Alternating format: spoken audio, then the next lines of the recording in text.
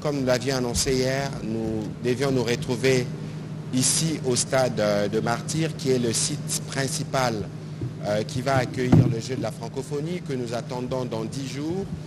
Et donc tous les jours, euh, vous devez vous habituer à faire un peu de sport parce qu'il sera essentiellement question de parler sport dans les jours qui viennent parce que nous aurons plein d'activités et plein de rencontres pour faire le point de l'évolution régulière des activités qui sont prévues dans le cadre de cette grande compétition. Ce soir, euh, je suis avec euh, les directeurs des Jeux, M. Isidore Kwanja, aussi c'est lui qui va nous accueillir euh, dans le cadre de l'organisation de ces Jeux, les stades de martyrs, et c'est lui qui va bénéficier de toutes les infrastructures, parce que dans les programmes de la francophonie pour le gouvernement, ce n'était pas simplement préparer l'accueil de ces Jeux, mais c'était surtout de penser à l'avenir à des jeunes sportifs congolais qui pourront bénéficier des sites pour se préparer et participer à des compétitions dans les normes. Nous sommes bien au 21e siècle. Avant de passer la parole euh, au directeur de jeu, je voudrais revenir sur la réunion que nous avions eue ce matin avec le Premier ministre et chef du gouvernement, qui a réuni les diplomates membres du groupe de la francophonie pour discuter de certains détails. Vous savez qu'il s'agit, euh, il faut parler de l'accueil, il faut parler de la restauration, de l'hébergement, de la sécurité, du transport, des jeux proprement dit. Il était question donc de voir avec euh, les représentants des différents pays qui vont participer, faire le point des différents préparatifs et je pense que dans 48 heures, nous aurons l'occasion de faire les tours des différents sites avec les différents diplomates pour qu'ils puissent constater comment les choses ont été apprêtées. Beaucoup de choses sont dites, nous allons tous vu cette fameuse vidéo sur les réseaux sociaux, sur l'université de Kinshasa. Je pense que les directeurs de jeux pourront y revenir. Il faut savoir que c'est des travaux qui durent depuis plusieurs jours. Et parce qu'on fait des travaux, on fait des tests, vous allez voir que la vidéo n'a pas été datée. Vous ne savez pas quand, quand est-ce qu'elle a été prise.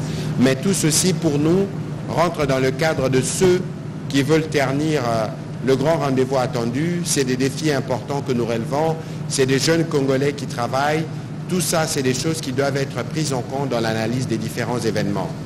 Pour aller dans les vif du sujet, je voudrais passer la parole à M. Isidore Kwanja pour nous faire le point d'abord sur l'arrivée des délégations. Il y a plusieurs délégations qui sont déjà en train d'arriver sur les dispositions qui sont prises au plan protocolaire.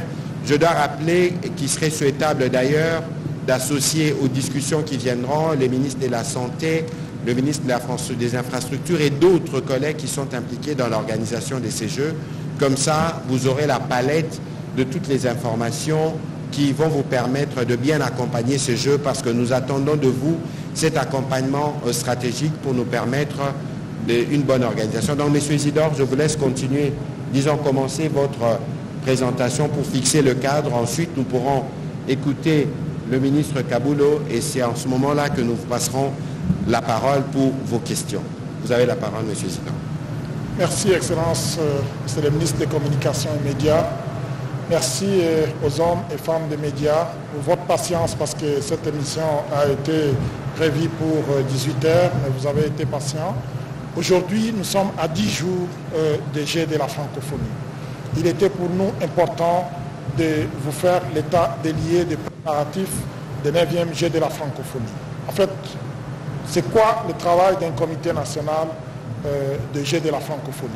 C'est de mettre en place la logistique nécessaire pour accueillir les athlètes, les faire jouer dans les meilleures conditions. Pour cela, nous devons nous occuper de leur transport, de leur hébergement, de leur restauration, des conditions euh, sanitaires et sécuritaires assurées, mais également de mettre à leur disposition les infrastructures nécessaires. Aujourd'hui, je peux vous assurer que toutes les infrastructures sont là, prêtes à accueillir les athlètes, parce que pour les athlètes, ils ont besoin d'un espace léger, ils ont besoin de vestiaires, ils ont besoin de sanitaires, et toutes ces dispositions sont mises en place, les infrastructures sont là. Pour tous euh, les autres aspects, nous avons pris les dispositions nécessaires, notamment pour les transports, vous avez certainement vu un certain nombre de bus qui commencent déjà à circuler ici dans la ville avec notre euh, logo qui transporte déjà les, quelques athlètes qui sont arrivés ici. Les questions des transports sont assurées aussi bien pour les athlètes que pour les différentes délégations qui vont arriver. Pour les différentes délégations qui vont arriver, notamment les présidents des fédérations internationales, les juges, les arbitres, les jurés qui viendront ici parce que c'est normalement eux qui doivent assurer les règles des jeux. Donc, les questions de restauration également. Euh, aujourd'hui, si vous allez à l'université de Kinshasa, on est en train de mettre les dispositifs en place. On a installé un grand chapiteau qui peut accueillir jusqu'à 2500 euh, personnes. Et c'est là qu'on va organiser euh, la cuisine pour tous les athlètes. Les questions de santé et de sécurité également, toutes les dispositions ont été prises. Certainement que quand vous êtes rentré ici, vous avez vu qu'à l'entrée, il y avait non seulement les agents euh, de Delta, mais aussi euh, les agents, donc euh, les, JR qui sont là, et la police et d'autres services qui sont mis à, à, contribution pour justement assurer la sécurité. Donc aujourd'hui, on est venu vraiment pour vous donner toutes ces informations et vous rassurer que les sont, ont déjà commencé parce que nous avons déjà euh, accueilli à peu près 200 il y a d'autres qui arrivent ce soir. Nous allons atteindre jusqu'à 300 euh, athlètes déjà ici, avec leurs accompagnateurs, une centaine. Et ils sont logés à l'université. Ça, comme a dit son Excellence, Monsieur le Ministre, il y a certainement euh, ce que vous avez certainement vu, mais vous devez savoir que l'université de Kinshasa, ça fait presque plus de deux ans, il n'était pas habité. Et donc la, résidence euh, euh, n'était pas euh, utilisée parce qu'on était en train de faire les travaux. Justement, lorsque on a fini ces travaux-là et qu'on était sur le point d'installer les athlètes, il y a certainement des réglages qui doivent être faits, notamment en ce qui concerne l'eau, parce que les robinets sont restés longtemps non utilisés. C'était cette situation-là qui a été réglée rapidement parce que la régie des eaux a pris la relève, a envoyé des citernes et aujourd'hui, j'ai envoyé mes équipes qui sont allées là-bas et moi-même, je vais y aller demain parce que j'ai reçu des appels de plusieurs euh, euh, délégations de différents pays qui, cherchaient à savoir qu'est-ce qui se passait euh, réellement. Alors je leur ai promis, je dis, je préfère aller moi-même ouvrir le robinet pour que vous puissiez voir qu'effectivement l'eau est en train de couler. Donc, encore une fois, euh, je j'aimerais vraiment que la population congolaise soit rassurée que la RDC s'est préparée et est prête à accueillir les athlètes qui viendront euh, des cinq continents. Voilà. Voilà, merci Monsieur le Directeur pour vos mots introductifs. On va passer la parole au ministre des Sports. Vous devez être les plus heureux d'hériter de, tous ces, euh, ces bâtiments. Il faut nous dire quelle sera la nouvelle configuration du stade de Martyr mais ce serait souhaitable aussi que vous puissiez nous faire le point de la préparation de nos athlètes. On a beaucoup parlé d'infrastructures, on a beaucoup parlé de logements, des restaurations, on a peu parlé de nos athlètes parce qu'il y en aura à peu près 300 minimum, je pense, qui vont participer. Peut-être que c'est l'occasion de fixer l'opinion à propos. Oui, bien sûr, merci. Euh, je salue les dames et les messieurs de la presse. Je salue également les téléspectateurs qui nous suivent en ce moment. Euh, je voudrais bien rassurer les Congolais et les Congolaises que le 9e jeu de la francophonie auront bel et bien lié à Kinshasa.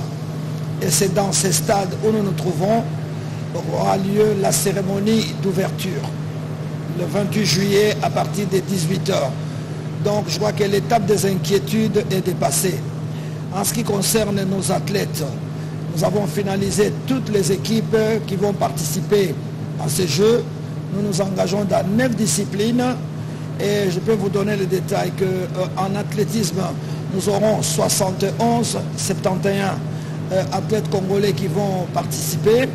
Euh, en basketball dame, nous aurons 12.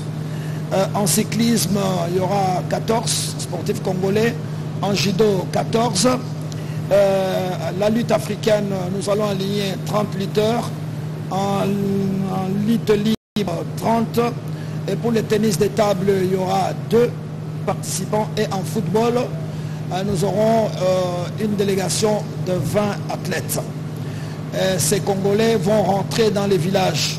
Comme les villages ouvrent ses portes dimanche prochain, le 23, toute la délégation congolaise va monter sur la colline euh, inspirée à l'université de Kinshasa où ils seront logés.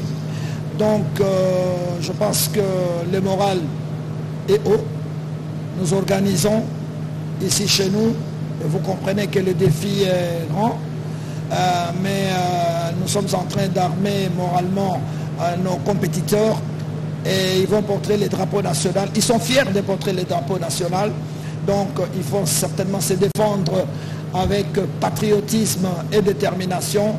Et je pense que euh, je donne ma tête à couper, nous allons garder quelques médailles sur les sols de nos ancêtres. Donc ces côtés-là, ne vous inquiétez pas. On raconte que la RDC ne va pas participer. Je vous confirme que les frais de participation sont à bonne voie. Nous sommes en ordre avec euh, les CGF, les comités internationaux de jeux de la francophonie, et que de ce côté-là, il n'y a vraiment pas d'inquiétude.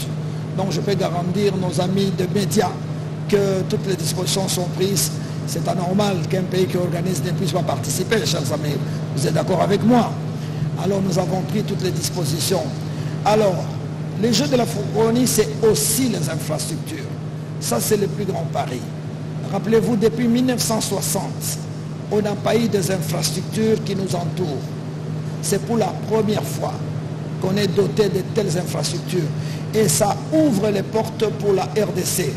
Désormais, au moment où nous sommes ici, il y a déjà des demandes qui tombent sur ma table pour l'organisation des championnats d'Afrique à Kinshasa. Je pense que ça doit être une très très bonne nouvelle pour la République démocratique du Congo.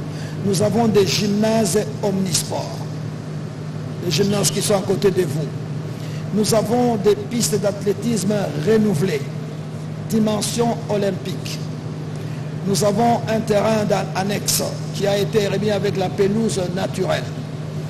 Nous avons du côté du stade de, Tata Raphaël, là également on est gâté, sans oublier l'aréna qui sortira de cette terre après 16 mois des infrastructures avec des terrains modulables pour une capacité de 20 000 spectateurs. On n'a jamais vécu ça. Je crois que c'est aussi ça les bénéfices. On gagnera les médailles, mais on a gagné en infrastructure. Et je voudrais euh, euh, remercier le président de la République qui est trop impliqué, qui est un grand sportif. Et euh, avec le gouvernement, ils n'ont pas lésiné sur le moyen pour doter notre pays. Nous nous sommes toujours pleins que nous partons toujours à l'extérieur. Et on nous fait d'ailleurs cette remarque. Tous nos amis disent, c'est bien, vous venez chez nous prendre les coupes. Tant est-ce que nous viendrons chez vous? Maintenant, les portes sont grandement ouvertes pour tous les sportifs du continent. Et je crois que les journalistes auront maintenant du boulot parce qu'il y aura régulièrement des compétitions à la dimension africaine et nous aurons la possibilité de récupérer tous les talents qui se sont retrouvés à un moment donné sans gymnase, sans terrain de jeu. Donc c'est un effort que la République a fait et on est fiers. C'est ça le grand bénéfice d'avoir organisé le 9e jeu de la francophonie parce que l'héritage est très très riche et vous devez en être fiers.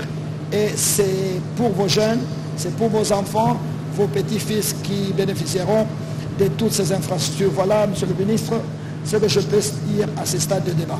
Voilà, merci Monsieur le Ministre des Sports. Je vois que nous avons voulu associer à cet exercice beaucoup de journalistes sportifs. Je pense qu'ils auront euh, la primeur sur les questions parce que l'événement, c'était un événement sportif. je pense aussi que ça donne l'occasion aux autres journalistes de s'informer davantage. J'espère que les équipes de la CIGF, de la direction des Jeux, prépareront des fardes qui vous permettront d'être informés. Je sais qu'il y a neuf compétitions euh, qui sont prévues, neuf disciplines.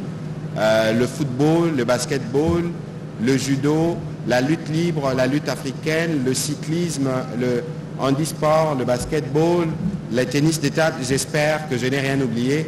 De toute évidence, je pourrais me faire compléter. Et donc, on va regarder du côté du journaliste sportif pour la première question. Ensuite, nous reviendrons de ce côté pour que nous puissions dans le détail vous donner tous les éléments. On va commencer par Valdo.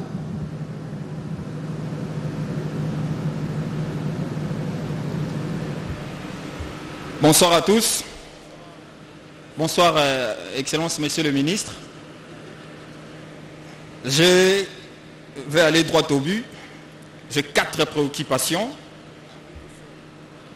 Oui. ma première, c'est au ministre des Communications, Monsieur Patrick Mouyaya. Est-ce c'est tacitement que les journalistes sportifs doivent s'approprier? Le jeu en termes de communication ou bien il y a une dynamique ou bien il y a une dynamique qui est mise en place pour que ces derniers puissent bien communiquer sur le jeu. Merci. Monsieur le directeur national de jeu, qu'en est-il? On parle beaucoup un site euh, euh, Stade des Martyrs. Qu'en est-il du site euh, Tata Raphaël Je vais dire que ce site a été mis en quarantaine. Monsieur le ministre des Sports, vous avez été voir toutes les disciplines qui vont naturellement représenter les pays au jeu. Qu'en est-il de tennis de table Vous les avez cités, deux athlètes. Est-ce que vous avez vu ces deux athlètes Est-ce que vous les connaissez personnellement? Est-ce que vous savez où est-ce qu'ils se préparent? Dans quelles conditions se préparent ces athlètes?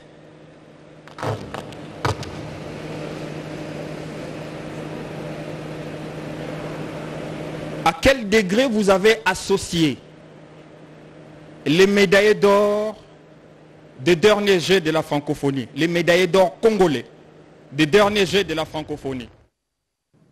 Les Jeux, c'est un événement que nous accueillons.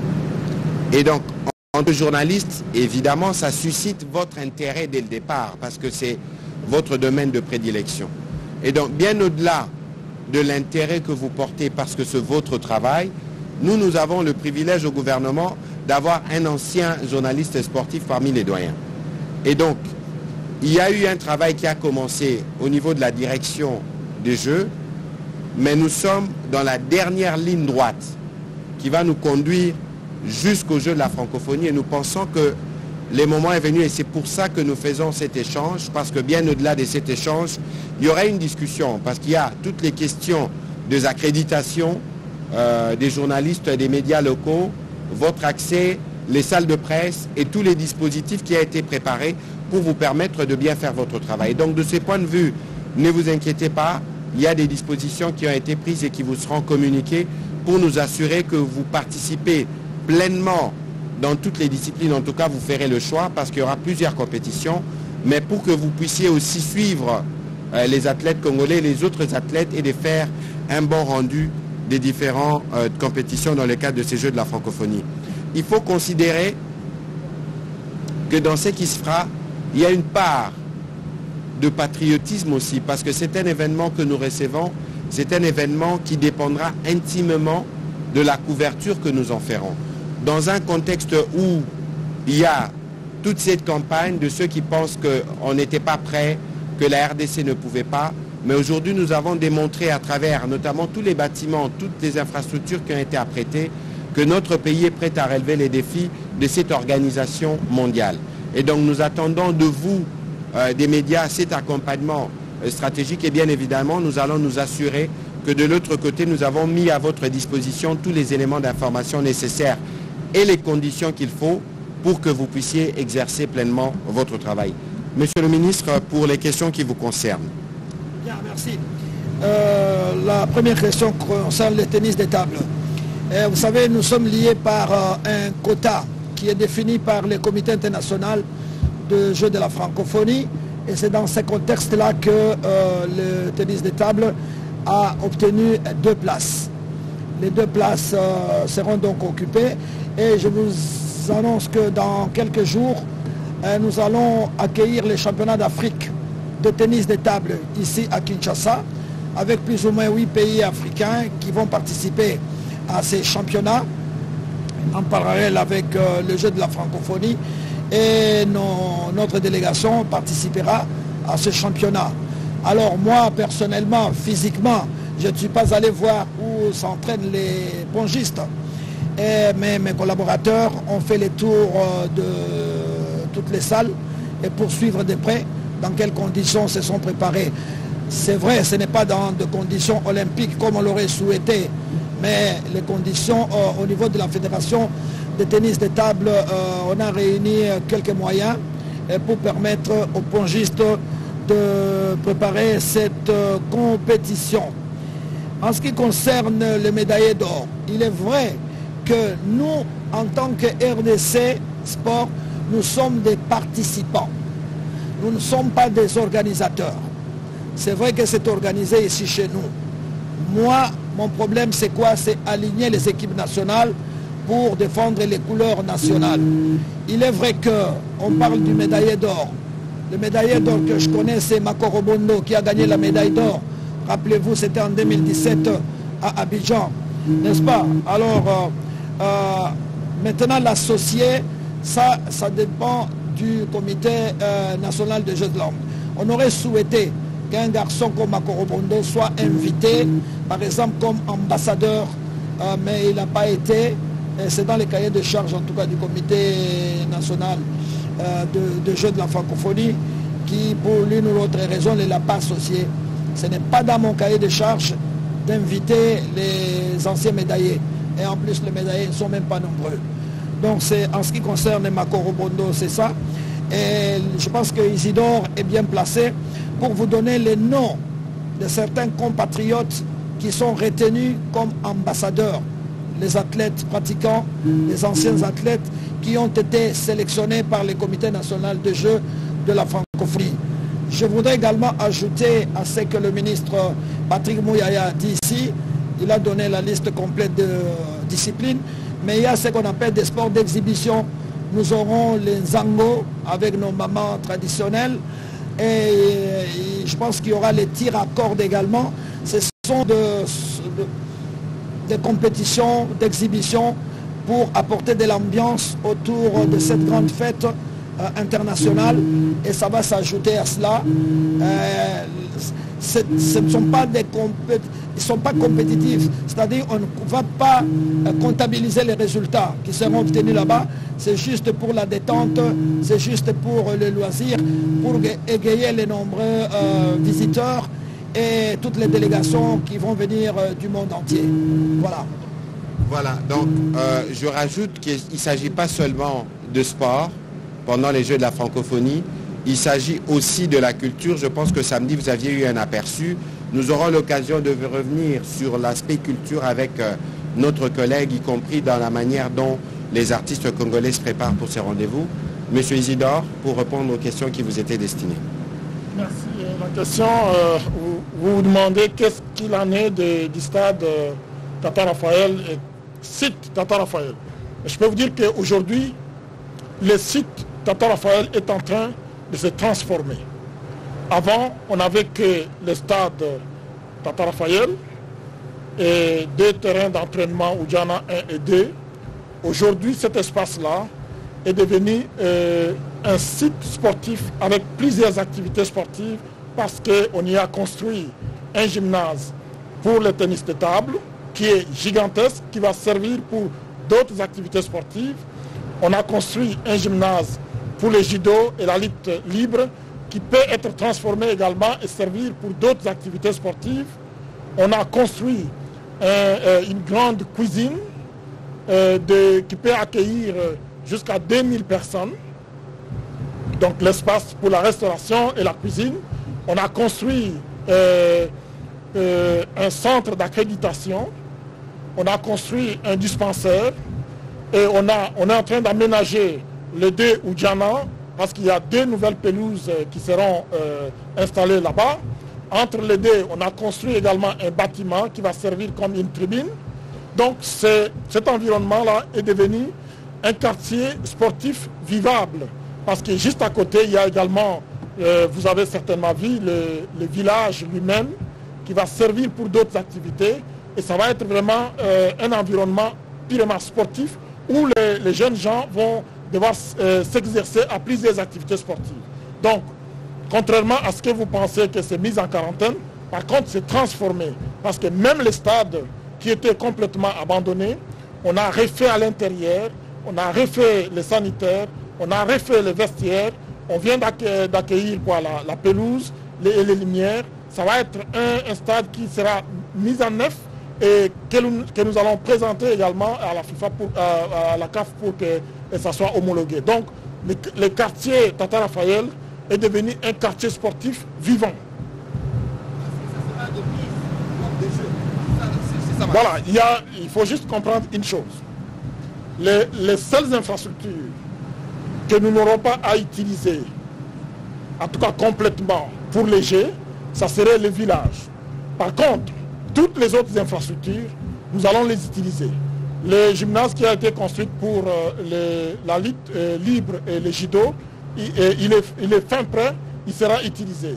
Celui pour euh, le tennis de table est aussi presque à 98%, il sera utilisé.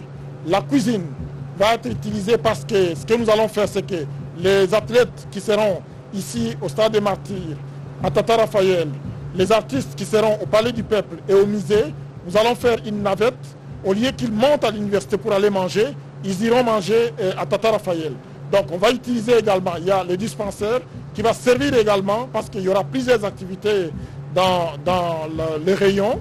S'il y a un problème de santé, il sera pris en charge immédiatement là-bas parce que nous aurons un dispensaire avec tout le matériel nécessaire pour intervenir. Donc c'est un espace qui sera vivant et les athlètes, on a estimé qu'ils doivent être logés à l'université de Kinshasa, mais toutes les infrastructures qui sont autour du stade de Tata Raphaël seront utilisées pour le 9e jeu de la francophonie. Allez-y, monsieur le ministre. Pour compléter que les tournois de football, la finale aura lieu au stade de Martyr. Mais les tournois qualificatifs va utiliser également le stade Tata Raphaël. Vous allez les retrouver bientôt. Il y aura beaucoup de matchs là-bas. Donc euh, c'est garanti que c'est une infrastructure qui sera exploitée dans le cadre du 9e jeu de la francophonie. Et d'ailleurs, euh, peut-être qu'avant les débuts de jeu, nous aurons l'occasion de faire un tour pour vous permettre de voir euh, que ce soit à, l'Unikin, au village de jeu, que ce soit au Stade Tata Raphaël ou ici, parce qu'on doit nous représenter les stades de Martyr. On va prendre la question de Rachel Kitita et puis nous reviendrons sur Junior Montpema.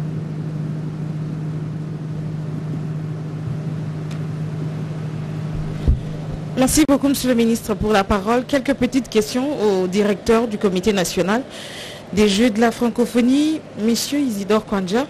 On va crever l'abcès ce soir. Il se dit beaucoup, il se raconte beaucoup sur l'organisation des 9e Jeux de la francophonie. Vous parlez de la restauration. Tente ou chapiteau installé à l'Unikin pour euh, accueillir les athlètes, mais il se raconte que euh, c'est une entreprise française qui a gagné le marché de la restauration, une entreprise, je vais la citer, Vivendi, euh, restauration pour euh, les athlètes qui seront euh, ici à Kinshasa, alors que le pays dispose des grands hôtels et de restaurateurs de renom pour pouvoir nourrir nos athlètes. Est-ce que c'est vrai et à quelles conditions cette entreprise a gagné ce marché? Aussi, on parle de euh, la SONAS qui n'a pas pu avoir le marché d'assurer les athlètes, un marché également gagné euh, par euh, une entreprise extérieure. C'est ça qui se raconte puisque aujourd'hui il va falloir lever le voile sur l'organisation de ces Jeux. Vous parlez de l'eau, vous avez envoyé des citernes ce matin. Mais est-ce que le problème a été résolu par la régie des eaux qu'à partir de demain, l'eau coulera dans les robinets et que les athlètes pourront euh, l'utiliser euh, quand ils voudront aussi le problème d'équipement. Est-ce que tous les équipements sont arrivés? Puisqu'il se raconte aussi que vous attendiez des équipements, notamment de la Chine, de Dubaï ou même de la Turquie. Est-ce que tout ça euh, est vrai ou ce sont justement de, de, euh, des rues de Kinshasa? Si vous le permettez, monsieur le porte-parole du gouvernement, une question d'actualité pour vous. Excusez-moi vraiment de revenir sur ça. Mais ce matin, il s'est dit qu'en rapport avec euh, l'assassinat du député euh, Chérubin Okende, que des journalistes seraient euh, pourchassés ou que des journalistes seraient mis mal à l'aise justement pour le fait simplement de pouvoir d'avoir donné certaines informations. Est-ce que vous êtes informé du fait que certains journalistes sont, sont tracés Est-ce qu'on peut craindre pour leur sécurité? Puisqu'il se raconte que certains pourront même partir justement se réfugier puisqu'ils ont peur pour leur propre sécurité. Et ça, on a lu sur les réseaux sociaux. Est-ce que vous pouvez nous rassurer sur ce fait Alors, votre source, c'est les réseaux sociaux. Moi, ministre de la Communication, formellement... C'est aussi une source d'info, monsieur le ministre. J'en arrive. Je n'ai pas été saisi ni par une institution, ni par un journaliste pour me dire, Monsieur le ministre, écoutez, nous avons été appelés, nous avons reçu tel message, il plane sur nous telle menace, etc. Vous avez dit que les réseaux sociaux constituaient la source. Évidemment qu'elle constitue une source ouverte. Et il y a eu euh, des journalistes qui ont annoncé ou qui ont parlé du kidnapping de, de, mon feu euh, collègue Chérubin Okende. Il ne faut pas avoir peur, parce que nous tous, nous voulons la manifestation de la vérité.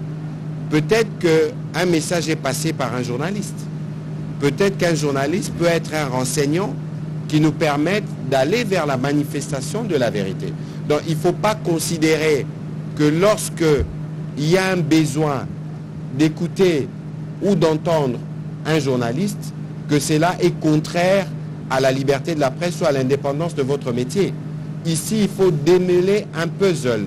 Il faut arriver à retracer les faits suivant leur chronologie. Et il y a des annonces qui ont été faites. Je ne vous partage pas une confidence. Lorsque moi, je l'ai vu, j'ai vu le message sur les réseaux sociaux, j'ai contacté les responsables de tous les services pour demander ce qu'il en était ce que nous lisons est vrai ou faux? Parce que généralement sur les réseaux sociaux, il y a du vrai comme il y a du faux. Et j'ai reçu une réponse disant qu'on n'avait aucune trace dans aucun service de l'honorable chérubin. Il était 1h ou 1h30 du matin. Et le matin, nous avons tous vu la mauvaise nouvelle. Et la mauvaise nouvelle qui a été annoncée aussi par des journalistes. Et donc, vous voyez que dans la quête de la vérité, pour de besoins d'enquête, il est possible qu'on demande à Madame Rachel Kitita, mais vous avez parlé du kidnapping, qui est votre source Bon, ça va rentrer dans un débat de protection de sources, etc. Mais ici, il y a une vraie problématique. Je dois rappeler que depuis que je suis au ministère, la protection de journalistes la promotion de la liberté de la presse sont pour nous des piliers, parce que c'est ce qui nous permet de consolider notre démocratie. On peut s'en plaindre, mais regardez chez nous comment la parole est prise, comment les journalistes s'expriment et comment les hommes politiques s'expriment. Mais c'est parce que justement nous y tenons et nous au niveau du ministère, nous travaillons à nous assurer que les journalistes sont protégés dans l'exercice de leur métier. Il y a quelques semaines, j'avais discuté avec les journalistes de la presse internationale parce qu'ils avaient des inquiétudes sur un certain nombre de sujets.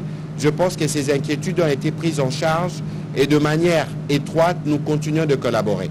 Donc j'invite tous les journalistes qui ont été ou qui ont été menacés ou qui ont entendu des choses de ce sens qui nous contactent et nous verrons comment on va faire.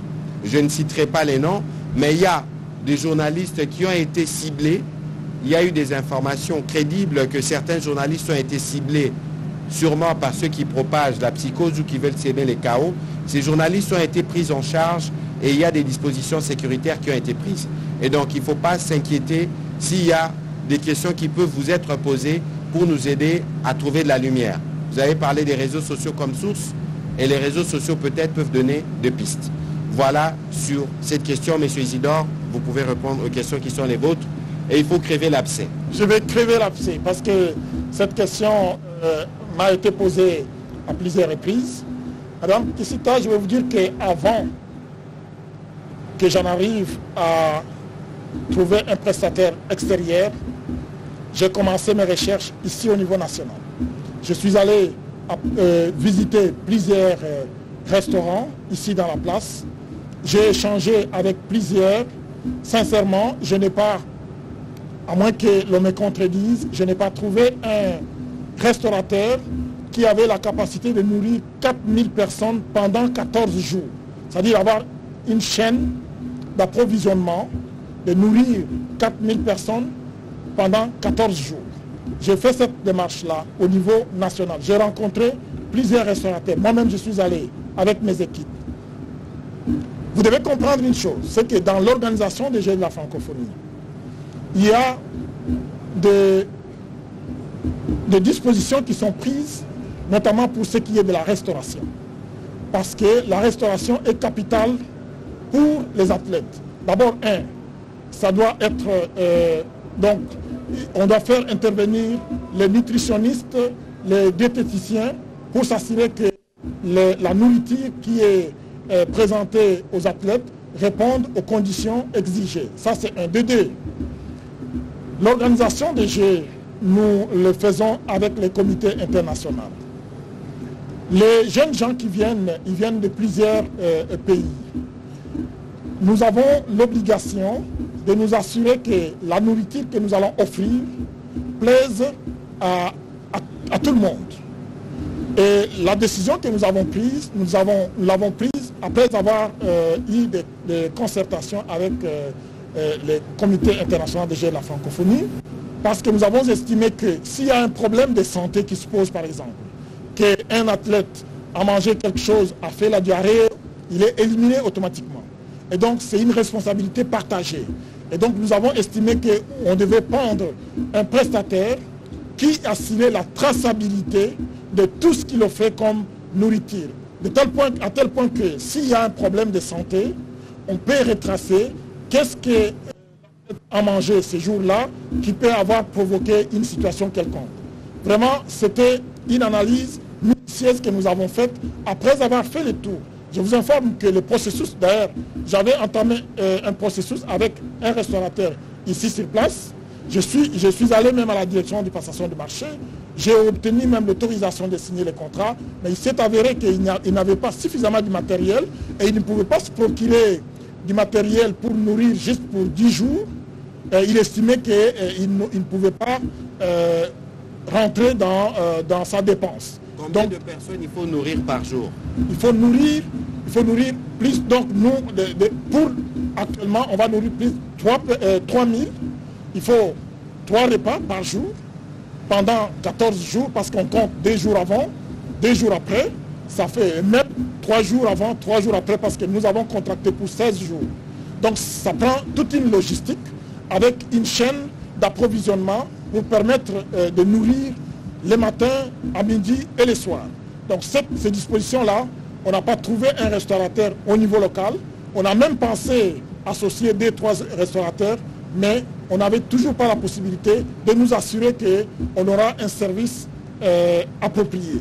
Pour ce qui est des, euh, euh, des assurances, je pense que vous le savez bien que le, système d'assurance dans, notre pays est libéralisé. Dans un système libéral, ben, c'est le, mieux offrant. On, va chez les mieux offrants. Nous avons un prestataire qui est ici au niveau national, avec qui nous avons contracté pour assurer nos, athlètes, tous les athlètes euh, qui viennent ici à Kinshasa. Donc, nous ne sommes pas dans un système de, de, donc, comme c'était à l'époque, un seul prestataire. Maintenant, on a libéralisé le système. Nous allons chez celui qui nous offre euh, un bon prix. Pour euh, l'eau, je peux vous assurer que on est en train de régler et on a réglé cette question-là parce qu'aujourd'hui, on a la régie des eaux à installer de façon permanente les agents là-bas jusqu'à la fin des Jeux pour s'assurer que chaque fois qu'il y aura un problème, qu'on puisse immédiatement intervenir. Il en est de même pour l'électricité également. Donc, on a pris cette disposition-là. Aujourd'hui, cette question de l'eau ne va plus se poser parce qu'en plus, qu'est-ce que nous avons fait? Nous avons augmenté le nombre de citernes. C'est-à-dire que la nuit, on va stocker une grande quantité euh, d'eau dans les citernes, de telle sorte que même si n'y a pas de l'eau qui coule euh, dans les robinets de la régie des eaux, nous avons suffisamment de stock pour que les athlètes puissent avoir de l'eau pour euh, tous leurs besoins. Et pour ce qui est des équipements, je vous informe que les équipements sont déjà ici à Kinshasa. Les équipements, c'est quoi? Si vous rentrez ici, par exemple, il y a eu des, tests qui se sont passés ici. Tout l'équipement est là, on a déjà installé y compris tous les autres sites. Dès qu'on finit complètement, comme là on a fini complètement, à partir de demain, on va commencer à euh, équiper tous les gymnases. Donc, et en plus, pour le domaine dans, dans, les aspects culturels, nous avons du matériel scénique de grande valeur qui va servir après les Jeux, vous savez, on n'a pas de, studios ici, nous avons des grands musiciens, mais on n'a pas de studios où nos musiciens, nos artistes peuvent se produire, euh, peuvent, euh, produire au niveau local. Actuellement, après les Jeux, nous allons avoir tout ce matériel qui sont déjà ici à Kinshasa. Donc je peux vous assurer que sur ce point, on a pris toutes les dispositions. Les Jeux vont avoir lié, nous avons tout le matériel nécessaire, nous avons, tout, nous avons pris toutes les dispositions, mais aussi pour la restauration. Je vais vous informer, à part les athlètes qui euh, seront nourris par Vivendi. Nous avons également un prestataire local parce que nous avons invité à peu près 300, donc les, euh, quoi, les, arbitres, les jurés, les juges de touche et même les arbitres nationaux. Ils seront nourris par nous et nous allons utiliser cette cuisine euh, de Tata Raphaël qui va faire en sorte que toutes les personnes qui sont ici, qui vont avoir des activités ici au stade des martyrs, au palais du peuple, au musée et à Papa Raphaël, on va faire une navette et toutes ces personnes à l'heure de midi, ils vont se restaurer euh, ici au restaurant de Tata Raphaël. Et ça, c'est une, une restauration locale. Donc on a pris toutes ces dispositions. Mais on n'a pas trouvé un prestataire qui avait la capacité de nourrir les athlètes, une grande quantité, euh, de, donc un grand nombre d'athlètes euh, comme euh, nous avons euh, la situation actuellement. et tout calcul fait, combien coûtent les Jeux de la francophonie, les 9e Jeux de la francophonie? En fait, cette question-là, je, donne toujours la même réponse. Je vous dis ceci. Ce que la République a fait, c'est un projet de développement. Toutes les infrastructures qui sont construites ici, ce n'est pas seulement pour les Jeux de la francophonie, mais c'est également pour la jeunesse congolaise. Parce que ces infrastructures, elles sont immenses, nous les avons construites pour qu'elles servent à plusieurs autres activités sportives. Ici, on peut y faire des, euh, handball, on peut y faire des basketball et plusieurs autres activités, y compris toutes les autres infrastructures. Donc c'est un projet de développement. Ce qui a été fait, même si on n'avait pas euh, organisé les Jeux de la francophonie, le gouvernement euh, qui est conduit par le président de la République, qui veut investir dans la jeunesse, avait des projets de développement pour développer le sport professionnel en République démocratique du Congo. Bon, je crois que on a crévé l'abcès. Non, regardez, Madame parce que cette question reviendra souvent. Vous dites combien alors qu'on n'a même pas encore fini d'organiser ces jeux.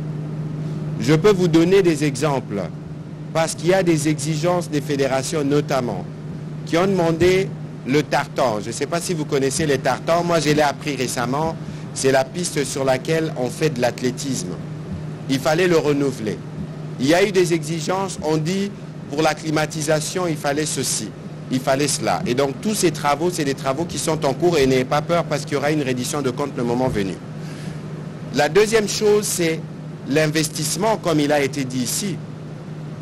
La République démocratique du Congo, nous sommes une grande terre d'accueil. Mais regardez, depuis 1974, je parle sous le contrôle de mon collègue de droite, on n'a pas accueilli une grande compétition sportive. Ça veut dire que depuis toutes ces années-là, on n'a pas investi pour être en mesure. Hier, je disais encore dans les briefings que moi, j'ai négocié avec l'ambassade de France pour que nos basketteurs s'entraînent sur les terrains du lycée français qui est couvert. Le basket ne se pratique plus à ciel ouvert.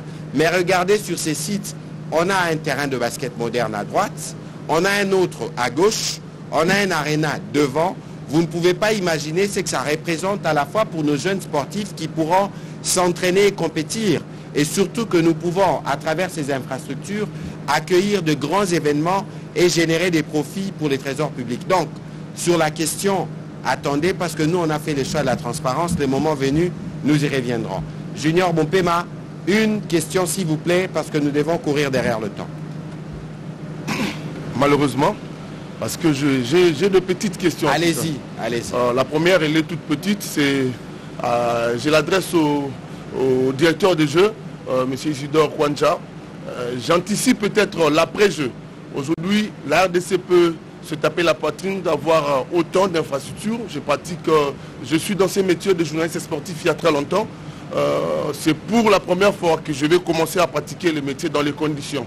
Alors, qu'est-ce que vous prévoyez par rapport à l'après-jeu pour la maintenance de ces infrastructures-là Avec le gouvernement congolais, vous qui gérez, vous qui allez remettre les clés? Qu'est-ce qui est prévu? Quels sont les mécanismes mis en place pour que finalement ces infrastructures soient gardées en l'état? Nous le savons que la maintenance, c'est ce qui pose problème, surtout chez nous en République démocratique du Congo.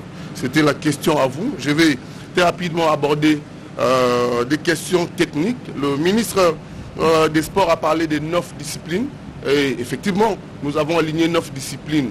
Je voudrais quand même euh, savoir, nous appelons les Congolais à venir applaudir les léopards de toutes les disciplines. Mais il n'y a pas seulement les infrastructures qu'il faut applaudir, il y a aussi les jeux, il y a aussi les médailles qu'il faut gagner.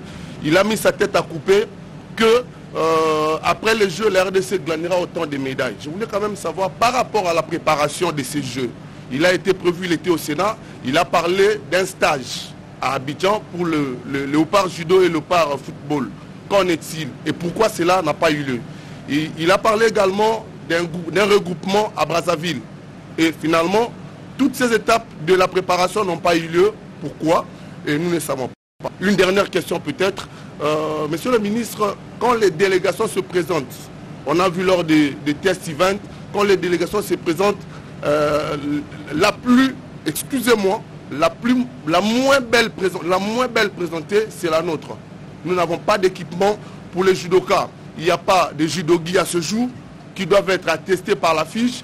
Pour les lutteurs, il n'y a, a ni des jungles, ni des, euh, des maillots pour combattre. Finalement, on aura quel genre d'athlète à présenter le jour de jeu avec euh, des judogis euh, qui ne sont même pas allés dans des pressings avec des maillots et des jungles troués. Je voudrais quand même savoir par rapport à la, préparation et la, présentation des athlètes en termes d'équipement. Merci bien. Merci. On va commencer par le ministre. Bien, merci pour cette question. Euh, il est vrai que nous avions prévu des stages bloqué pour nos sportifs euh, dans le seul objectif de créer ce qu'on appelle l'esprit du team. On regroupe les sportifs, pourquoi? Pour qu'ils puissent échanger, pour qu'ils puissent se connaître et se fréquenter. Ça, c'était important. Et nous avons prévu tout cela. Et nous avions voulu profiter du championnat d'Afrique de judo à Abidjan euh, pour euh, faire bloquer nos judokas à Abidjan, de manière à ce qu'ils soient associés aux jeunes footballeurs qui sortaient euh, du tournoi Fachikop pour qu'ils puissent s'entraîner là-bas. Nous avions prévu également, nous avons pris contact avec le centre sportif de Kintele à Brazzaville pour héberger une certaine partie de la délégation, pas toutes les disciplines, parce que nous avions prévu également de garder certaines disciplines ici, par exemple le tennis de table et les handisports qui devaient être internés. Il est vrai que euh, ce vœu ne s'est pas concrétisé pour certaines raisons logistiques, mais qu'à cela ne tienne, les fédérations ont continué à entraîner euh, euh, les, sportifs et nous avons même cédé certaines salles ici dans les entrailles du stade de Martyr où euh, nos sportifs ont poursuivi leur préparation. Rappelez-vous que nous avions interné les léopards football de moins de 20 ans. C'était à Vénus Hôtel de King Collet où les sportifs se sont entraînés. C'est vrai, entre le vœu et les réalités, ça ne s'est pas concrétisé, mais cela n'a pas du tout empêché à ce que nos sportifs puissent s'entraîner. Toujours pour des raisons de logistique, euh, toutes les dispositions ont été prises de manière à ce que les athlètes congolais puissent euh, se produire euh, dans la dignité et la fierté. Il y a les matériels en route et d'ici là, nos sportifs auront les équipements nécessaires. Et je crois que les sportifs ne seront pas nus. Bon, vous pouvez être sûr. Les sportifs seront habillés et vous allez, vous allez certainement les applaudir. Je voudrais profiter de ça pour sensibiliser quand même nos confrères. C'est ce jeu de la République démocratique du Congo. À un certain moment, vous devez vous approprier ce jeu. Il ne faut pas toujours avoir l'esprit négatif. Ce n'est pas bien. Le pays qui organise doit être soutenu. par les médias locaux, euh, encourager vos sportifs, essayer de les motiver davantage. Je pense que tous ces jeunes gens, parce que nous les fréquentons régulièrement, sont déterminés à porter haut les drapeaux de la République démocratique du Congo. Nous nous inscrivons dans ce contexte de mobilisation. C'est très très important. N'oubliez pas que les jeux de la francophonie ce sont des jeux de la jeunesse. C'est la relève que nous préparons. Donc nous sommes là pour les encadrer et je sollicite votre encouragement, je sollicite votre participation positive de manière à ce que la RDC puisse améliorer les bilans. Vous savez qu'en euh, Côte d'Ivoire, si ma mémoire est bonne, nous avions terminé avec trois médailles au dernier jeu de la francophonie. C'était en 2017. On avait gagné une médaille en or et deux médailles en bronze. Et là, je suis convaincu que nous allons battre ces records et nous allons certainement améliorer. N'oubliez pas que les sportifs ont passé des longs moments sans infrastructure. Et nous avons perdu beaucoup d'athlètes. Nous avons même regretté parce qu'ils n'avaient pas de lieux d'entraînement, ils n'avaient pas de lieux de compétition, à tel point que, bon, ils se sont dispersés, ils se sont donnés à d'autres métiers. Maintenant que nous sommes en train de réhabiliter la RDC, je pense que dans les années à venir, je suis convaincu que la participation de la RDC sera largement positive. Parce que maintenant, on a des infrastructures, les fédérations n'ont pas d'excuses, les athlètes n'ont pas d'excuses, nous avons des salles climatisées et euh, toutes les conditions professionnelles sont réunies pour euh, espérer une participation positive. Donc, Junior Bompema, vous serez avec moi pendant 10 jours et je pense qu'à un moment donné, je vais vous taper à l'épaule pour vous dire, pour vous rappeler, nous aurons certainement des médailles, soutenir nos léopards, pousser les Congolais à venir très très nombreux. C'est ce que nous attendons le jour de l'ouverture. Il faudrait que vous fassiez les plats du stade de Marty pour montrer que la RDC, c'est un pays fréquentable, c'est un pays des sportifs, c'est un pays qui a beaucoup de talents et c'est un pays euh, euh, très accueillant euh, où les conditions sont réunies pour accueillir n'importe qui à n'importe quel moment. Voilà. Monsieur le directeur de jeu, je demanderai d'être un peu plus court pour nous permettre de prendre la dernière série de questions et terminer. Nous sommes déjà à une heure. Donc pour, être bref, euh, qu'est-ce qu'on va faire de ces, infrastructures après le G En fait, comme je l'ai dit tantôt, c'est un projet de développement pour développer les sports professionnels c'est une responsabilité partagée. Les infrastructures ici, le gouvernement a construit pour sa jeunesse. Il revient également à la jeunesse de, les utiliser à bon escient. Ça, c'est une responsabilité que euh, nous avons tous. Mais ce qui est vrai, c'est qu'après les Jeux de la francophonie, le comité national qui a été créé a six mois pour préparer la transition afin de remettre toutes ces infrastructures au ministère des Sports. C'est-à-dire que nous avons six mois pour préparer la transition et pendant cette période-là, on va prendre toutes les dispositions nécessaires pour assurer la maintenance, pour permettre à ce qu'après les Jeux, que ces infrastructures continuent à servir la jeunesse congolaise parce qu'elles ont été construites non seulement pour les Jeux, mais pour que ça puisse servir à la jeunesse congolaise. Je vous en prie, allez-y parce que c'est vous qui hériterez de ça. La maintenance des infrastructures, c'est aussi vous. Je dis cela pourquoi Je suis en train de gérer les stades de martyrs. Je suis dans une campagne d'assainissement. Je suis en train de déloger tous ceux qui habitent dans ces stades. Vous trouvez dans un stade de football les vendeurs de Mitou Yampioti, de Makayabu, de Thompson. Ce n'est pas normal. Nous avons visité les stades à travers le monde. Un stade de football reste un stade de football. Il y a des chaînes de télévision qui viennent s'installer ici. Il y a des bureaux des avocats qui viennent s'installer ici. Nous sommes en lutte. On est en train de mener, et moi, ministre des Sports, j'ai des problèmes avec le Conseil d'État. On m'acquise du matin au soir. C'est pour ça que j'ai dit, la maintenance, c'est aussi vous. Libérer cet espace qui est réservé aux sportifs pour que les sportifs puissent s'en approprier. Il ne faudrait pas profiter de, votre position ou de, trafic d'influence pour euh, euh, nous menacer. Ce n'est pas bon. Et c'est dans ce contexte que si vous voulez que ces infrastructures soient bien maintenues, laissez les infrastructures aux sportifs, quel que soit votre rang. s'il vous plaît. Vous voulez avoir une chaîne de télévision Allez chercher un immeuble ailleurs parce que les immeubles poussent comme des champignons à travers Kinshasa. Vous voulez créer un bar. Il y a même des bars au stade de Martyr. C'est anormal. Dans aucun stade du monde, on trouve un bar. C'est aussi ça la maintenance.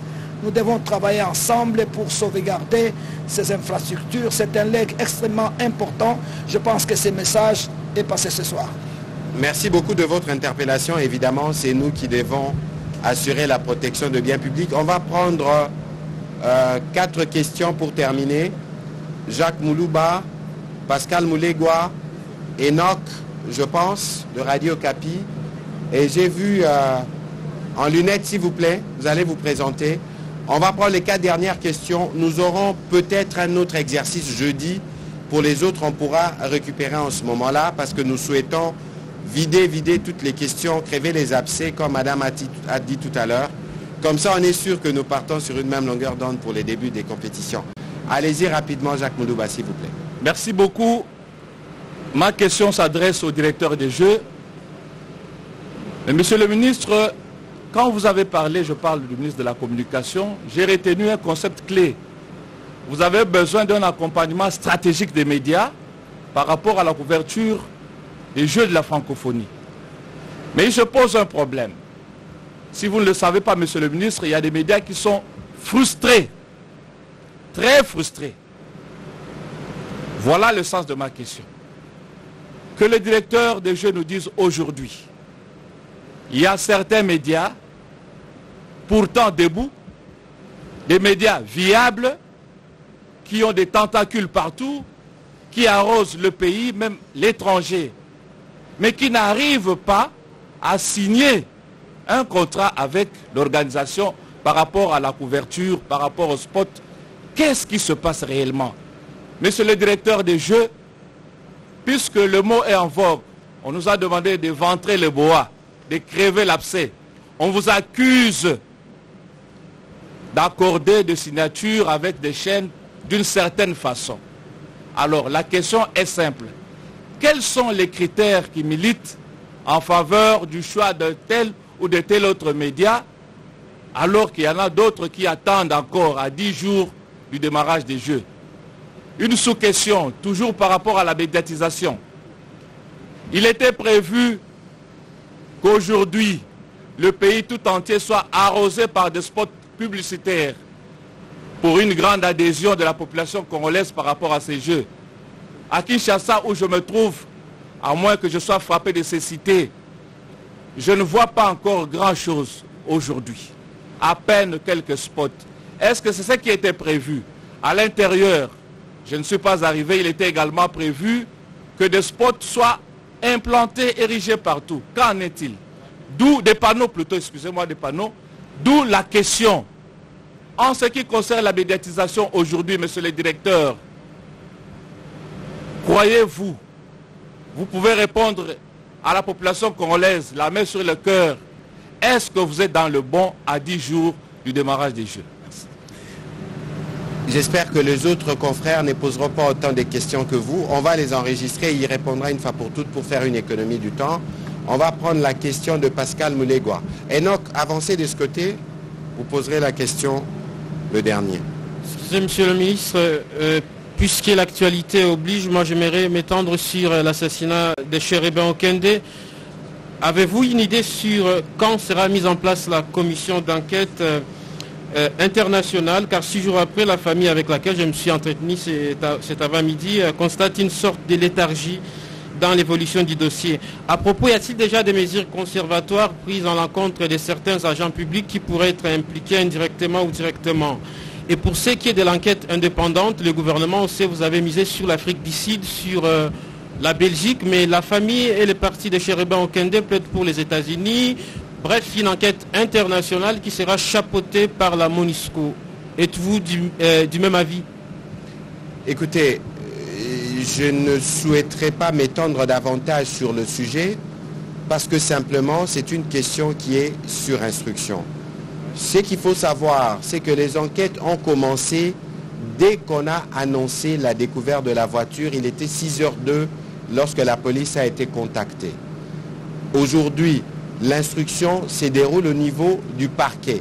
Vous avez suivi, je pense, le procureur général près de la Cour de cassation qui s'était exprimé à ces sujets. Il y a évidemment un procureur qui se charge de l'instruction, il y a l'auditorat militaire qui a été mis à contribution, mais aussi tous les services de sécurité que vous connaissez. Le président de la République a dit en Conseil de ministres vendredi qu'il avait échangé à propos avec le Premier ministre belge. Samedi matin, ma collègue de la justice a saisi les autorités belges.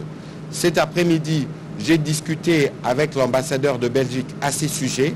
Il est question de remplir quelques formalités administratives des documents pour permettre à l'enquêteur qui a été désigné de venir se joindre à l'équipe qui est déjà à pied d'œuvre au niveau du parquet.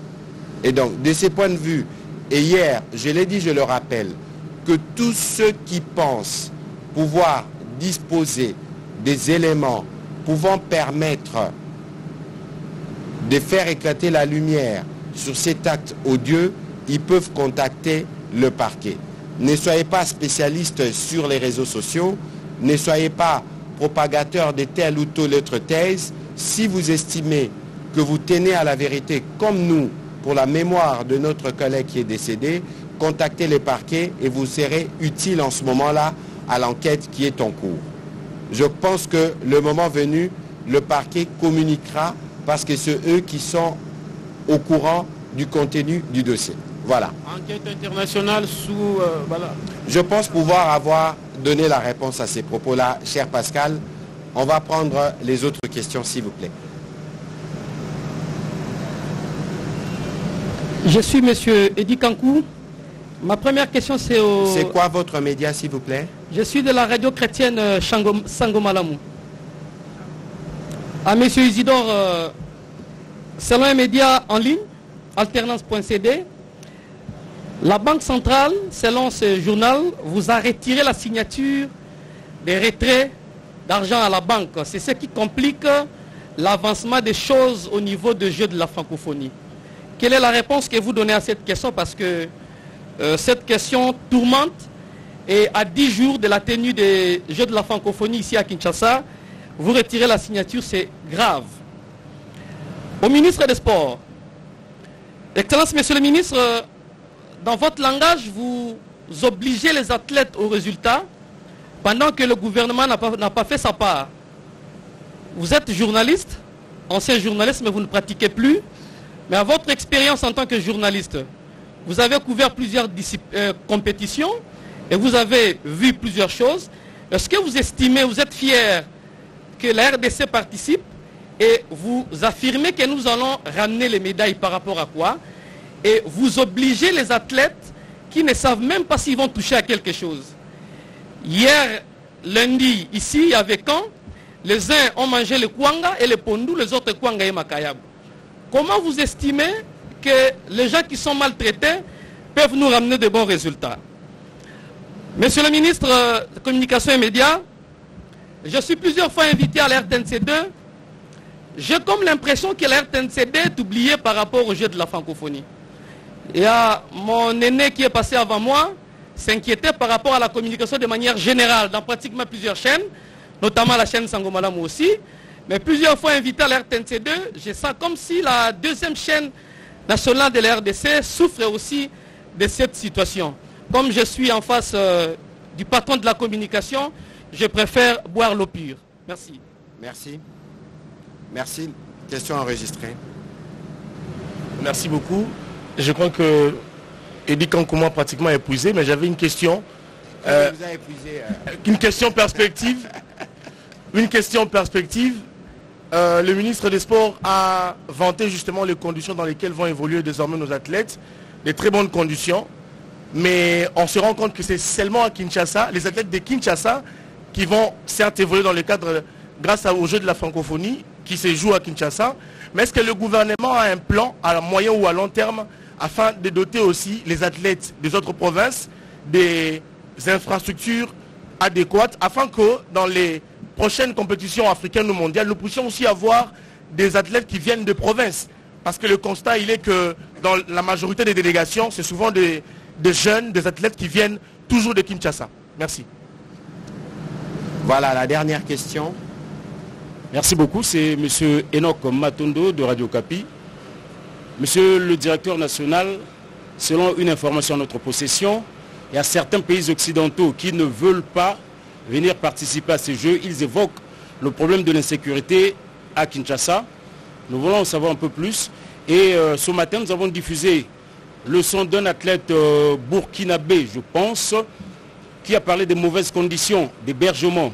Bien que nous avons reçu quelques petites menaces juste après la diffusion de cet élément par un des membres du comité d'organisation, c'est un ami, nous avons fini par, nous comprendre, nous faire comprendre. Nous voulons savoir, euh, est-ce que vous pouvez nous expliquer comment est-ce que les athlètes qui viennent récemment d'arriver à Kinshasa sont hébergés? À Monsieur le ministre des Sports et Loisirs, euh, Kabulo Monakabulo, nous voulons juste savoir s'il y a une enveloppe qui a été prévue euh, avant les Jeux pour les athlètes congolais parce que j'ai reçu un athlète, un judoka, qui m'a parlé de très très mauvaises conditions d'entraînement et de préparation. Nous voulons juste savoir s'il y avait une petite enveloppe prévue avant euh, le démarrage des Jeux. Merci. Voilà, merci pour euh, vos dizaines de questions. On va commencer par les directeurs de jeux. Comme ça, on va créver, créver les abcès. Et puis nous allons euh, terminer cet exercice. Allez-y. Merci. Euh, je vais répondre à la première question euh, de notre compatriote qui dit que les, certains médias sont frustrés. En fait, les médias ne sont pas frustrés. L'exercice que nous avons fait était un exercice très délicat parce que tous les médias qui nous accompagnent ou tous les médias de la RDC ils, euh, qu'est-ce que je veux dire? C'est-à-dire qu'ils sont très importants pour nous.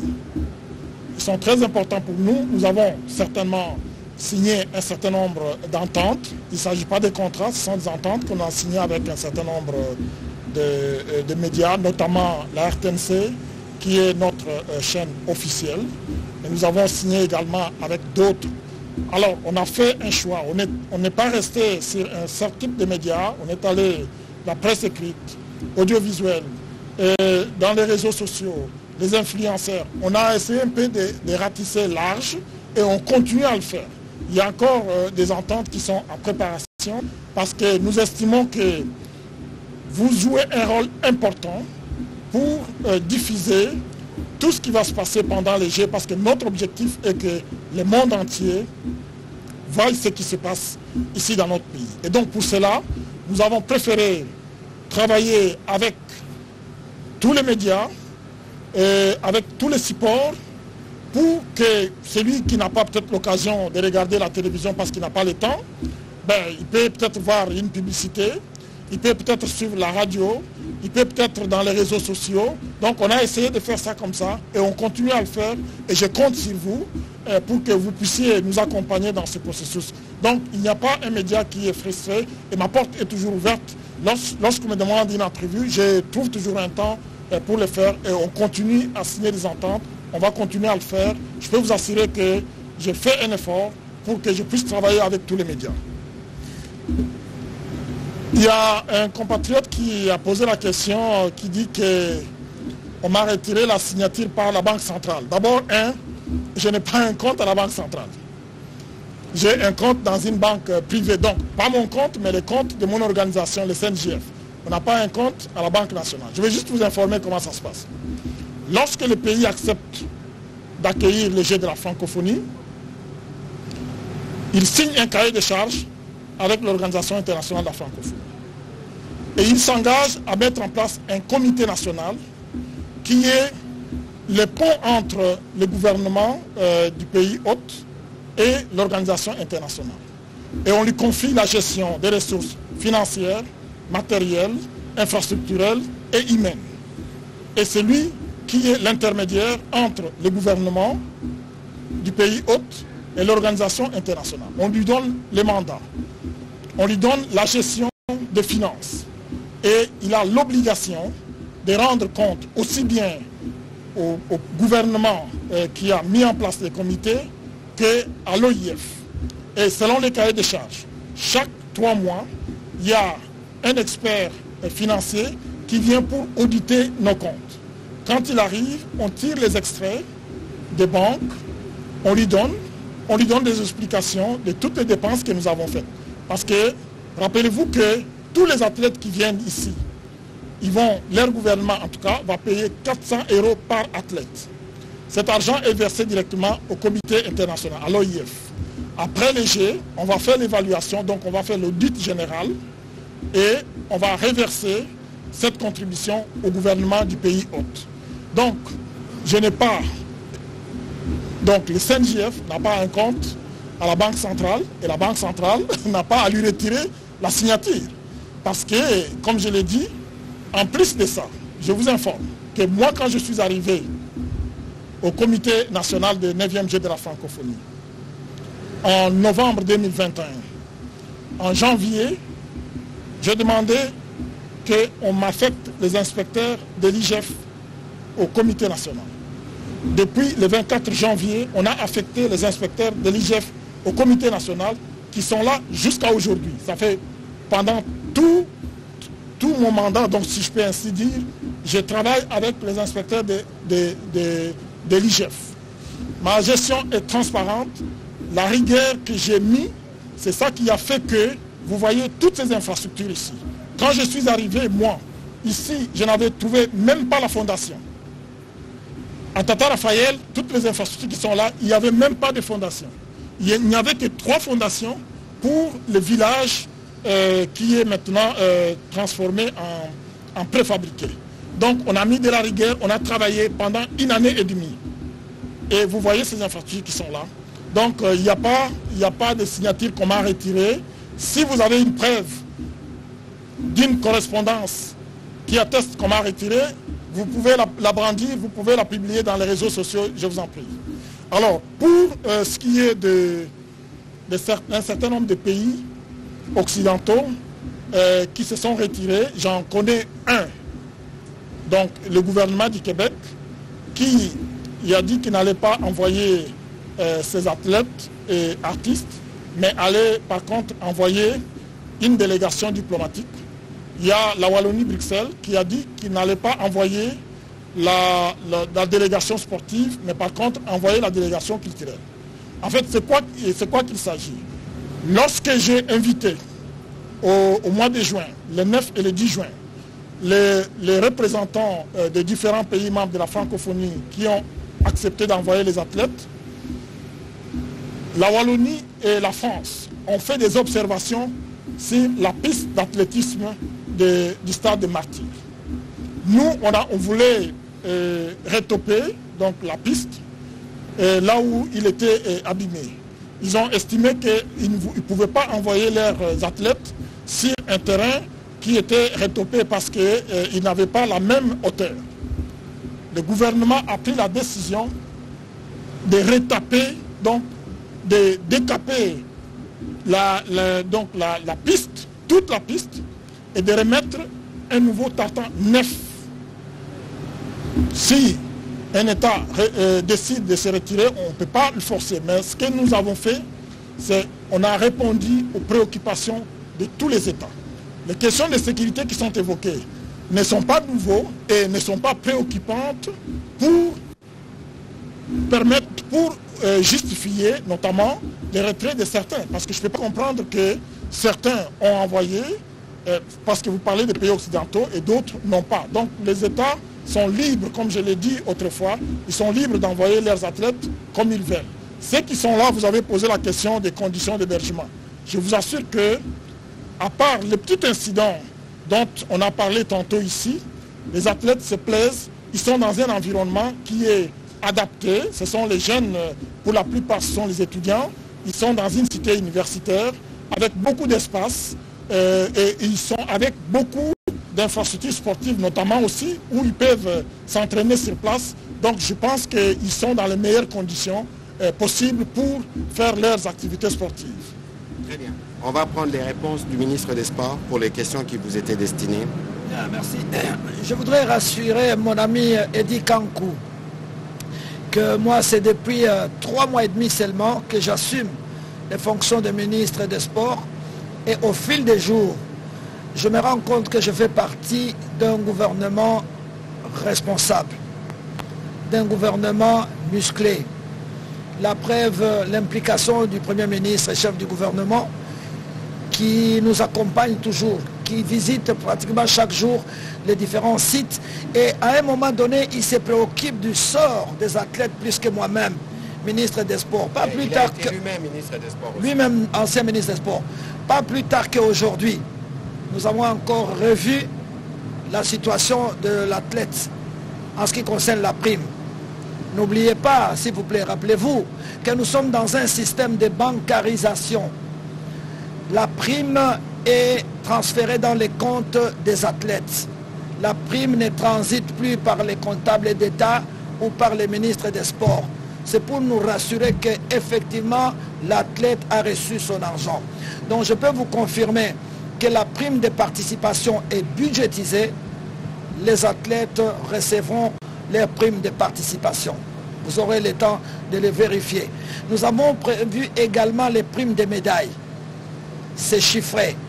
Le médaillé d'or aura autant, le médaillé de bronze, le médaillé d'argent. Toutes ces dispositions ont été prises. C'est vrai, j'aurais voulu euh, amener les athlètes le plus loin possible, mais je vous ai dit que pour des raisons de logistique, je n'ai pas pu réaliser mon rêve. Qu'à cela ne tienne, nous avons suivi nos compatriotes. J'ai prêté des salles ici au stade pour permettre à nos athlètes de s'entraîner tant bien que mal dans de bonnes conditions. On a fait cela, on a fait le maximum. Et je crois que c'est avec fierté que nous allons aligner notre équipe. Bon, Kankou se plaint qu'il mange la chikwanga ou le makayab. Curieusement, la chikwanga et le makayab, c'est parmi mes plats préférés pour la plupart des Quinois ici. Donc c'est un plat que nous allons offrir à nos sportifs. C'est un plan qui est très très apprécié par la RDC. Sinon, les athlètes vont entrer au village dès dimanche prochain. Ils vont partager les restaurants avec tous les athlètes qui vont venir du monde entier, ce qui est recommandé par les comités internationaux olympiques. Donc de ce côté-là, ne vous tracassez pas. Il y a aussi euh, notre ami, les deux autres journalistes, qui se sont préoccupés sur le sort des athlètes. Non, les sélections ne sont pas composées que des Quinois, ce n'est pas vrai. Aujourd'hui, s'il était venu avant, je l'aurais amené dans la salle, dans la, salle de gymnase à côté, où l'équipe nationale de basket est en train de s'entraîner. Il y a la Congolaise qui est en Côte d'Ivoire, qui nous a rejoint. Il y a la Congolaise qui est au Sénégal, qui nous a rejoint. Pour l'équipe qui va aller au Rwanda, il y a la basketteuse qui joue au championnat de France, qui nous a rejoint. Nous faisons appel aux binationaux dans les différentes disciplines. Tout dépend de la fédération. Si la fédération signale suffisamment à temps au ministère que nous sélectionnons tel ou tel ou tel Congolais évoluant à l'extérieur, nous allons l'accueillir. Donc, regardez dans le football, nous avons même un joueur qui vient de l'Inde. Il est avec nous, il va participer aux compétitions. Nous avons à peu près cinq binationaux qui sont venus d'Europe et le gouvernement a mis la main à la poche. Donc je vous garantis que les sélections comprennent les meilleurs Congolais du moment. Et ce sont ces jeunes gens-là, associés à d'autres, qui vont défendre nos couleurs. Donc je vous en suis là. Et j'ajoute un détail. En ce qui concerne les athlètes de l'intérieur, ils peuvent être tracasser. Il y a un programme sérieux qui est arrêté au niveau du gouvernement dans le cadre de 145 territoires. Nous sommes toujours en réunion avec les ministères de travaux publics. Du plan. Du plan, du plan. Il y a le plan qui est là aussi, des infrastructures également. Nous avons déjà recensé les infrastructures de base, les infrastructures prioritaires. Nous les avons catégorisées. Et c'est comme ça que je vous annonce que notre compatriote Ndaye Mutumbula aura dans les années à venir un stade qui va être construit à Kananga à sa mémoire. Nous n'oublions pas les athlètes des provinces. Vous connaissez mon parcours. J'ai été très critique et en étant au gouvernement, j'insiste toujours. Et je suis fier parce que ce gouvernement place l'athlète au centre de ses préoccupations. Je vous donne cette garantie et je vous le rappelle. Et voilà donc, rassurez-vous que nos athlètes euh, vont valablement défendre nos couleurs au jeu de la francophonie. Voilà, merci euh, pour vos mots. Je rappelle que le président de la République, vous aimez à le dire, c'est les premiers sportifs congolais. Et tout ce que nous avons fait ici c'est pas seulement du béton, mais c'est la fondation qui a été placée pour la relance du secteur sport, du sport de manière générale. Alors, j'ai entendu beaucoup de questions sur euh, les médias. On a parlé de la RTNC de. Je parle sous le contrôle du directeur de programme de la RTNC qui est là. Je pense qu'ici, il y a les équipes de la 1, de la 2 et de la 3 euh, qui nous accompagnent et qui nous accompagneront durant tous les Jeux.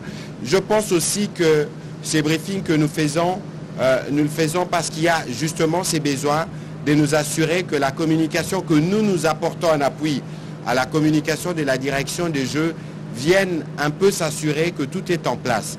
Et donc je pense qu'après cet exercice, il y aura une petite concertation parce qu'il y aura évidemment un processus d'accréditation qui viendra, il y aura des dossiers de presse qui vous seront préparés et qu'il y aura aussi une facilité en termes d'accessibilité sur les différents sites pour vous permettre de faire une bonne couverture de jeu. Cela nécessite de la concertation, c'est celle que nous aurons pour nous assurer que vous, les médias, comme nous, gouvernements, comme les Congolais qui viendront assister aux différentes compétitions, nous participons à faire de cet événement un événement historique que nous plaçons sur le signe de l'espoir, de la solidarité et surtout une preuve du changement de narratif.